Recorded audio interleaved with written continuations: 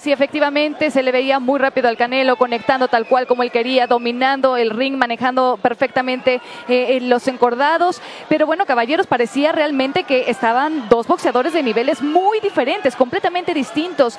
Juanma, tú has llevado a Nacho Beristain como tu entrenador durante varias peleas. ¿Qué fue lo que falló en esta ocasión en la preparación o lo que falló en el ring? Yo pienso que lo que falló fue el sobreentrenamiento a sobre Julio César Chávez Jr. El sobreentrenamiento te produce lentitud, te produce no hacer las cosas como debe de ser y pienso que fue un factor importante ese sobreentrenamiento. Compañeros, la gente está saliendo a la T-Mobile Arena con ese sentimiento de decepción. Se maneja mucho la palabra fraude, decepción, timo, se sienten engañados. Y es que totalmente han quedado a deber. Eh, Jorge Eduardo Sánchez, ¿cuál fue tu lectura de esta pelea? Pues en una pelea de un solo lado, completamente superado eh, Julio César Chávez Jr., no se necesita ser un conocedor en el boxeo para llegar a semejante conclusión. Un tipo que no tira golpes, pues es fácilmente superado por el otro que sí tira golpes. El Canelo se sintió muy cómodo en el combate, eh, lanzando combinaciones de todo tipo, arriba, abajo, con uppers, tomando la iniciativa desde un principio, contragolpeando al Junior, jugando con Julio César Chávez Jr. Y es que Juan Manuel le debe de saber y saber muy bien cuando un peleador enfrente no tira golpes, te da toda la confianza para hacer lo que tú quieras, para ensayar cosas, para, para deleitarte con, con lo que tienes enfrente. Eh, eh, ensayar combinaciones de costal, de gimnasio, con un peleador que no tira golpes. Simplemente el Canelo jugó esta noche con Chávez Jr. Es una pena que, que el Junior no haya aprovechado su distancia, su fortaleza y tenía miedo a ser contragolpeado por esa tremenda derecha, tenía miedo de salir noqueado. Yo no sé si, si hoy sale bien parado Chávez Jr. De, la arena. No sé si hubiera sido mejor para él intercambiar con el Canelo, aunque perdiera de otra manera, pero al menos con eh, un sabor de boca muy diferente para el público que dejó esta arena. Decepcionados en su mayoría por el desempeño del Junior, no tanto del Canelo. El Canelo hizo lo que pudo para tratar de ofrecer espectáculo pero no se pudo, se necesitan dos en un combate. Luciéndose desde el inicio de la pelea a la defensiva, a la ofensiva, David, ¿es realmente Saúl Álvarez el mejor boxeador mexicano en la actualidad? Bueno, sí, seguramente puede que sea el mejor boxeador mexicano de la actualidad. Eh, yo creo que hoy eh, le resta mérito, si algo le resta mérito al triunfo del Canelo es Chávez. Hoy estuvo impresentable, no tuvo rival. Hoy fue una verdadera vergüenza Julio César Chávez encima del ring. Eh, mentalmente, físicamente, boxísticamente, quedó a deber nada, no hizo nada, no se murió de nada. Hoy no dignificó al boxeador mexicano. El boxeador mexicano cuando le faltan condiciones va y pone la cara. Y como dice Jorge Eduardo, sale sangrando, sale en camilla del ring, pero con el orgullo arriba. Me ha decepcionado terriblemente Julio César Chávez. Yo creo que hoy abandonó, era su última oportunidad para aferrarse a un nivel de boxeo de grandes ligas. Está fuera de ese nivel de grandes ligas. Y creo que la razón principal la pongo en lo que decía Juan Manuel, el peso. Lo llevaron, lo sacrificaron hasta dar 164.5 libras que él no podía dar. Y nos tejimos un cuento y nos creímos una historia de que dio el peso. Sí, dio el peso, pero ¿cómo lo dio? Lo vimos el viernes calavérico en la conferencia de prensa, en, en el pesaje se le notaba lo fueron desgastando y el tipo no alcanzó a recuperarse. Ese no es el pretexto, ¿eh? no hay un pretexto. Creo que hoy el Canelo fue un buen boxeador, hizo una buena pelea, no merece abucheos, hizo lo que tenía que hacer. El que merece abucheos es Julio César Chávez Jr. Sí, sí, eh, yo difiero de, David, eh, el peso es importante, pero como él dice, no es un pretexto. Superado en condiciones boxísticas al 100%. Pesado o no pesado, Canelo es mejor boxeador que el Junior y hoy lo demostró. Hay muchos factores que te pueden memar, como marcar el peso, el sobreentrenamiento, pero te subes a tirar golpes, aunque sea un round, dos rounds. ¿Sabes cuántos golpes conectó el Junior? Pero 71 golpes. Yo estoy de acuerdo, pero Juan Manuel, eh, Cari, yo lo que yo lo que estoy tratando de encontrar un motivo por el cual hoy Julio César Chávez no fue competitivo. En la pelea con Sergio Martínez, la última vez que estuvo en nivel de grandes ligas aquí en Las Vegas, lo mismo. Lo mismo, el décimo segundo round, ahí compitió. Ahí vivió con eso, con esa, cuando tiró al, Maravilla Martínez. Ahora, hoy no hizo absolutamente nada. Yo he tratado de encontrar un motivo. Yo lo vi sin fuerza. Lo vi sin velocidad, lo vi sin condiciones. Más allá de lo físico, David, es acá arriba. Sí, está bien. Entonces, entró derrotado. Eh, el, al desde que suena la campana, tú estás notando ahí una actitud diferente del Junior que no es la que tenía que asumir para tratar de aspirar a la victoria. El Junior tenía que apretar al Canelo, ponerlo contra las cuerdas, hacer un infierno de combate y lo que terminó No hizo nada. fue un infierno para Ese él. es, ese es el plan que estaban comentando, sacarlo de su confort, sacarlo de ahí de la presión, o sea, sacarlo de estar ahí en, en la zona de del centro de cuadrilátero, no lo hicieron. Es sacarlo del confort, ¿cómo lo sacaban del confort? Presionando, haciendo un boxeo con combinaciones de golpes, no lo hicieron. Ahora, la- ya, ya 71 hay- ya hay golpes gente que en redes sociales que le echa la culpa a Don Nacho Beristain. A ver, vamos a... Es que es, eh, lo que tampoco- dijo Julio César Chávez Jr. sobre el ring también. Él, le preguntaron qué pasó Chávez Jr. y él dijo nada, yo solamente seguí las seguí las seguí las No, yo creo que no es la estrategia de Beristain. No, no, no, no, no es que yo vaya a defender ahora a Don Nacho Beristain, pero me parece que Julio César Chávez Jr. Chávez Jr. Chávez Jr. noche a noche que ha ido perdiendo condiciones en su carrera.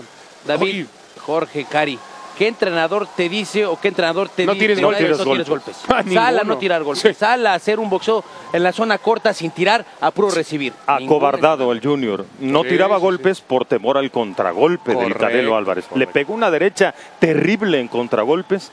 Y, y a partir de ese momento el Junior fue, fue otro. No, quiso entrar más al intercambio, buscó sobrevivir. Se habló durante toda esta semana de que esta era quizá la última oportunidad, el último tren para Julio César Chávez Jr. de retomar y repuntar su carrera. Después de lo visto esta noche, ¿nos olvidamos de esa posibilidad, caballeros? Pues eh, ho- honestamente el Junior no merecía esta oportunidad y hoy confirmó por qué. Bueno, fue una razón comercial esta pelea. ¿Seguro? Sabemos que fue una razón comercial. Por el Junior- apellido, por de la acuerdo, de nacionalidad. acuerdo. Yo, la, mi recomendación, que no soy nadie para decírselo, pero yo creo que Julio César Chávez Jr. tiene que retirarse. No pasa nada con él. No pasa absolutamente nada con él. Nada. Ha desperdiciado su trayectoria, su carrera, ha estropeado o ha, o ha llevado eh, a lastimar el legado del apellido de su padre. No pasa absolutamente. No, no es un boxeador disciplinado. Y llega el momento en que la gente ya lo abuchea. Es decir, ya la famosa marca Chávez la está estropeando. La desgastó. La desgastó. Y no ayudó mucho lo que ocurrió la semana pasada con la referencia inmediata de los hermanos peleando también, eh, el inocente con Omar Chávez. La gente pensó que iba a ver a Julio César Chávez Jr. noquear al Canelo en un par de episodios. No. Y Son vimos- niveles diferentes Sí. y rivales diferentes. Y compañeros, vimos a un Julio César Chávez padre desesperado, desesperado en la esquina del Junior, gritándole a su hijo que entregara lo mejor de sí. Vamos a escuchar justamente las palabras de la leyenda de Julio César Chávez. Nos encontramos con Julio César Chávez. Padre Julio, primero, ¿cómo te sientes tú? ¿Cómo está Julio después de esta derrota? No, está bien, gracias a Dios. Eh, lo principal de todo es que se bajó caminando como lo que yo le pedí a Dios, ganando, perdiendo. Desafortunadamente su cuerpo no le respondió. O sea, eh, esperábamos que Julio eh, se hidratara bien y, y todo, pero, pero no, la verdad, el cuerpo no. Cuando el cuerpo no responde, tú, Bernardo, pues es imposible de, ganar la pelea, ¿me entiendes? Porque no tienes, no tenía la fuerza, no tenía la potencia. eh, eh, y es por eso que no tiró golpes, ¿me entiendes? O sea, yo también estaba desesperado, yo quería que tirara golpes, pero, pero como él, como él me comentó, o sea, papá, no podía, papá, dice, no podía, no, me, no sentía fuerzas, ¿no? Y, y- y- y- y la verdad dice, eh, pero yo quiero, antes que todo, quiero felicitar al Canelo, la verdad, porque hizo una muy buena pelea, ganó bien, eh, se vio muy bien, la verdad, y, y- simplemente este se perdió la batalla, no la guerra, ¿me entiendes? O sea, eh, ya nos dimos cuenta que Julio no es 164 libras, Julio tiene que pelear en 168 libras porque es ahí donde, donde él puede rendir mucho mejor, porque como tú bien lo decías en, en- los programas de, de- los golpes, eh, una media librita, una librita, eso es lo que puede cambiar el, el ritmo de la, de la pelea y eso fue lo que pasó. Ahora, ¿qué viste en Saúl el Canelo Álvarez esta noche? Porque además de que Julio no pudo, el Canelo hizo cosas buenas. Ponte ahora el sombrero de analista como compañero mío. eh, ¿Qué hizo bien el Canelo? No, todo lo hizo muy bien tú, Bernardo. Todo lo hizo bien el Canelo. Lo vi rápido, lo vi eh, fuerte, certero. eh, casi con las mismas combinaciones. eh, no le vi, la verdad, con todo respeto, no le vi este fuera de lo normal, nada, la verdad. Eh, casi siempre tirando sus mismas combinaciones. El López, la derecha para arriba, su jazz muy, muy certero. y su gancho también muy bien, pero son todas las combinaciones que tiene, ¿me entiendes? o sea, no, no, no, no tiene mucha, que digamos, mucha variedad de golpes, ¿me entiendes?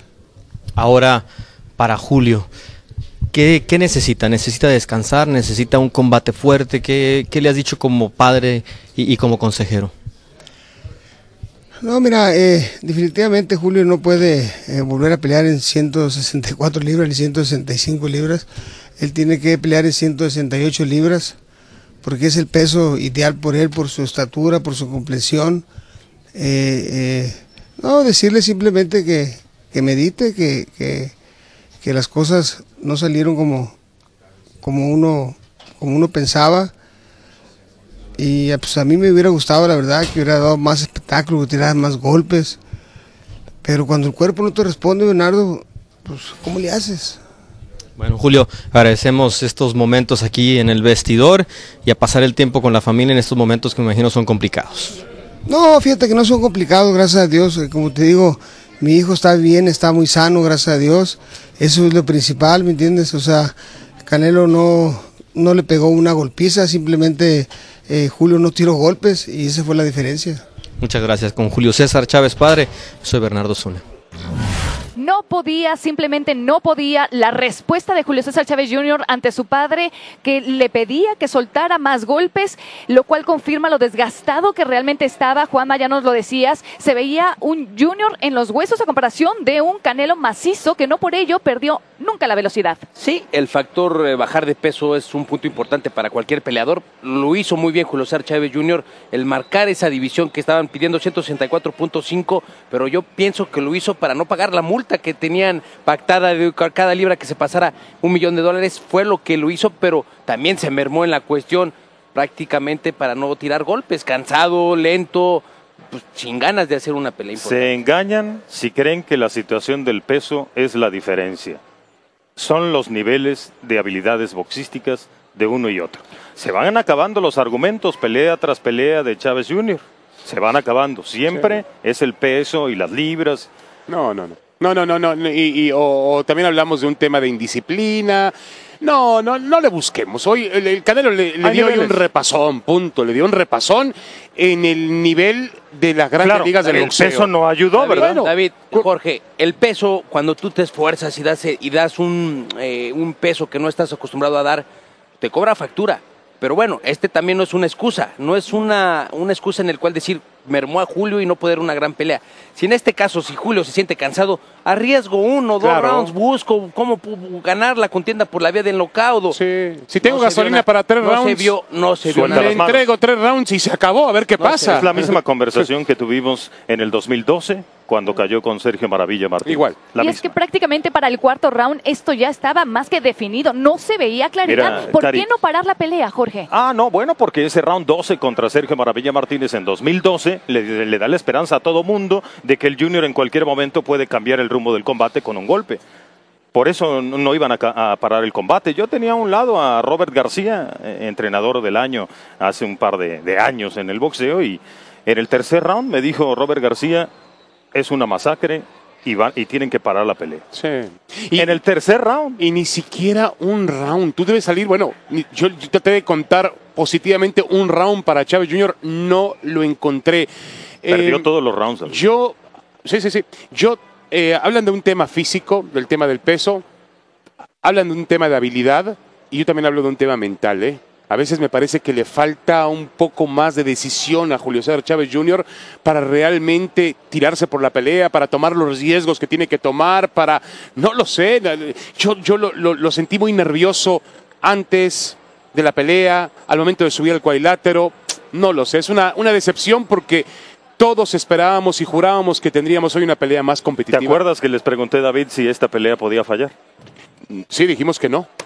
Dijimos que no, nos atrevimos a decir que no. Nos equivocamos ¿eh? rotundamente. Qué pena por el público Sí, claro. que pagó el pago por evento. No, no, no, no. Es que, caballeros, era acaso muy difícil imaginarse, desde el momento en que aceptaron pactar este combate, que llevar a Julio César Chávez Jr. a ese peso Cari, era es que- sacrificarlo demasiado. Sí, pero eh, ¿dónde, ¿hasta dónde subió el Canelo? Le dio cuatro kilos y medio a Chávez Jr. Subió 10 libras el Canelo también. ¿Qué más Ahora, ventaja? fue un error subir con Fonfara.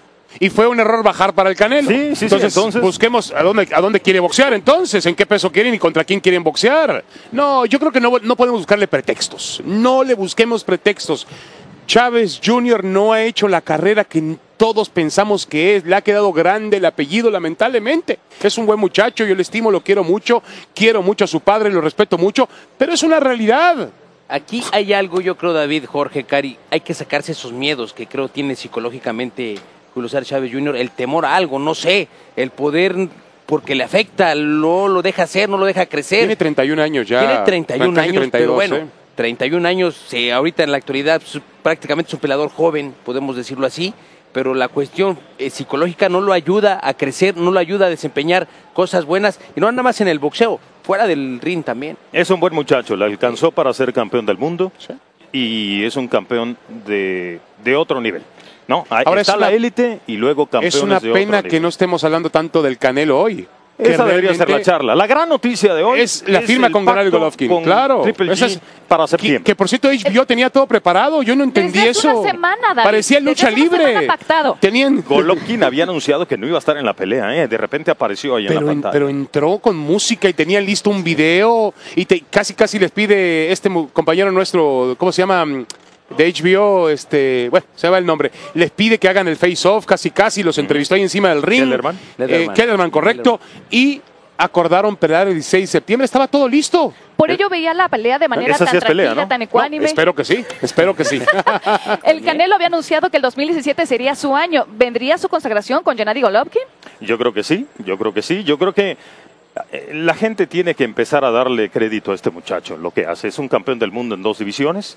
Ya si te cae bien o te cae mal es otra cosa. Sí. El muchacho es un buen peleador y lo viene demostrando de manera eh, frecuente.